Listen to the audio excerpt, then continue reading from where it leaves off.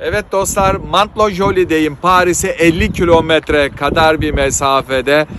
E, Normandiya yolu üzerinde bir yer. Eskiden Paris'ten çıkanlar bir iki günde buraya gelirlermiş. Burası tarihi bir kasaba. Paris'in de içinden geçen Sen Nehri buralara kadar da uzanıyor. Ve biz şu anda tarihi bir köprüdeyiz. Hem de o kadar eski bir tarih ki 12. yüzyılda yapılmış bir köprü. Louvre Sarayı'nı da yapan Fransa tarihinin belki en önemli 3-5 kralından biri olan Philips Agus, Selahattin Eyyubi ile savaşmaya e, aslan yürekli Richard'la giden, İngiltere kralıyla giden meşhur kral. Hatta burada ölmüştür en son. Ee, ve aynı zamanda bu bölgeyi İngiltere'den 200 yıl sonra geri alıp Fransa'ya kazandıran adamdır. O hikaye uzun bir hikaye. Şimdi onun zamanında ilk yapılmış 1195'te Selahattin Eyyubi'ye Kudüs'te yenildikten 15 yıl sonra bu köprü yapılmış.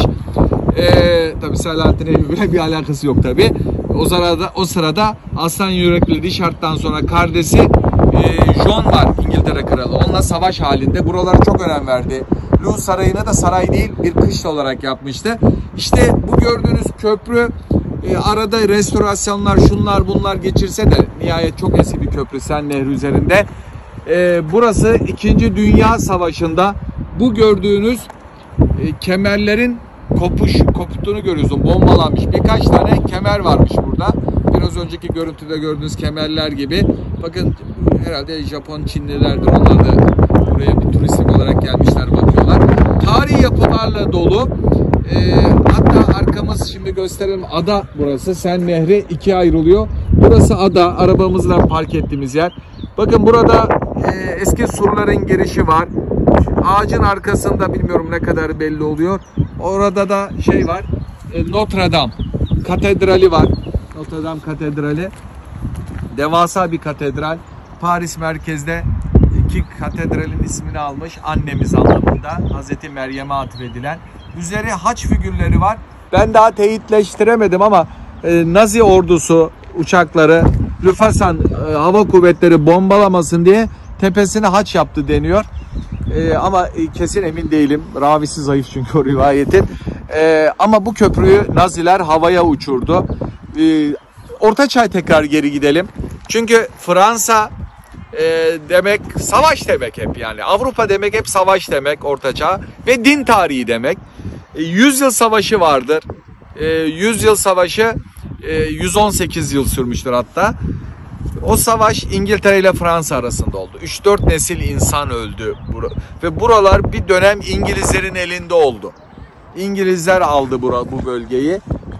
Fransızlar çok küçük bir bölgeye düşmüştü. Atlantik sahillerini de kaybetmişti. Güney kendilerinin değildi. Frenklerin yerine bir başka hanedan millet alabilirdi ama işleri e, Lu Sarayı'nı yaptıran Philips Augustan 200 yıl sonra torunlarından 5. Charles çıkmış. Fransızların tarihini değiştirmiş. Bilgiye önem vermiş, yatırıma önem vermiş. E, o sırada İngilizler her zaman daha az kuvvetle hatta Fransızların dörtte bir nüfus olmasına rağmen İngilizler Fransızları yeniyordu. Yüzyıl Savaşı'nın ilk yarısı böyle geçti. E, seri ok atan İngiliz okçularına karşı e, Tatar oku vardır. Yayını kurana kadar dakikada 3 tane atarken karşı taraf vızır vızır vızır atıyor yani. Bu Luna Parklardaki gibi perişan ediyordu. Hatta bir savaşta Fransa kralı esir bile düştü yani. Ve İngiltere'de öldü. Neyse işte bir Philips August bir 5. Charles e, kaderini değiştirdi Fransızların. Diyelim e, bu bölgeyi Philips August geri aldı. 5. E, Charles'a Yüzyıl Savaşı'nda püskürttü tekrar İngilizleri bu bölgeden. Burası böyle güzelim bir yer.